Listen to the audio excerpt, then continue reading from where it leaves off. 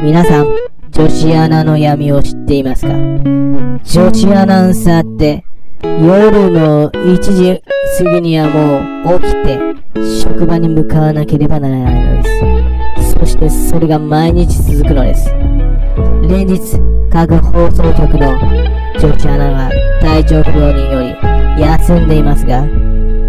れは本当に激務によりホルモンバランスを崩したりいろんな最近流行りの病気があるじゃないですか。